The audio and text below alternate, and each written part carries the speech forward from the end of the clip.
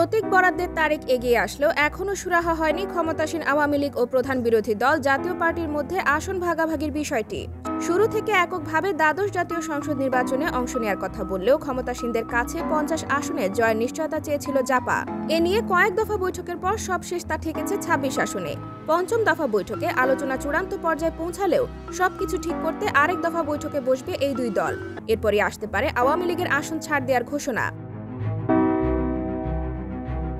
কঠোর গোপনীয়তা রক্ষা করে শুক্রবার রাতে জাতীয় সংসদ ভবনে আওয়ামী লীগের এক প্রভাবশালী নেতার কার্যালয়ে দুই দলের নেতারা রুদ্ধদ্বার বৈঠক করেন। বৈঠকে একদিকে নেতৃত্ব দেন আওয়ামী লীগের সাধারণ সম্পাদক ওবায়দুল কাদের, অন্যদিকে নেতৃত্ব দেন জাতীয় পার্টির মহাসচিব মোহাম্মদ মুজিবুল হক চুন্নু। গভীর রাত পর্যন্ত চলা এই বৈঠকে ছাব্বিশটি আসনে ছাড় দেওয়া নিয়ে সমঝোতা হয়েছে। এর বাইরে আরও কয়েকটি আসন দাবি করেছে জাতীয় পার্টির নেতারা। শনিবার আরেক দফা বৈঠক করে সবকিছু চূড়ান্ত করা হবে বলে জানিয়েছেন সংশ্লিষ্টরা।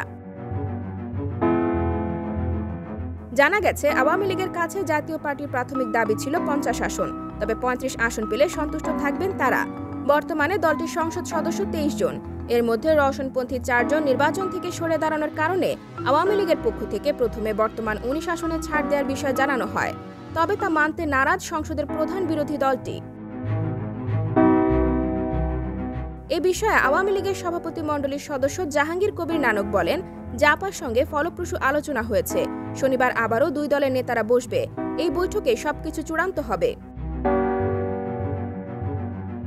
এদিকে কয়েক দফা বৈঠকের পর দীর্ঘদিনের শরিক চোদ্দ দলের তিন দল, বাংলাদেশ ওয়ার্কার্স পার্টি, জাতীয় সমাজতান্ত্রিক দল জাসদ এবং জাতীয় পার্টি জেপিকে সাতটি আসন ছাড় দেওয়ার কথা জানিয়েছে Awami League.